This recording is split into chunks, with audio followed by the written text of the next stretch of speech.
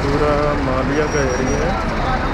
आप देख रहे हैं ये पार्किंग क्रॉस करने के लिए देखिए, इधर से रोड क्रॉस करने के लिए बनाया हुआ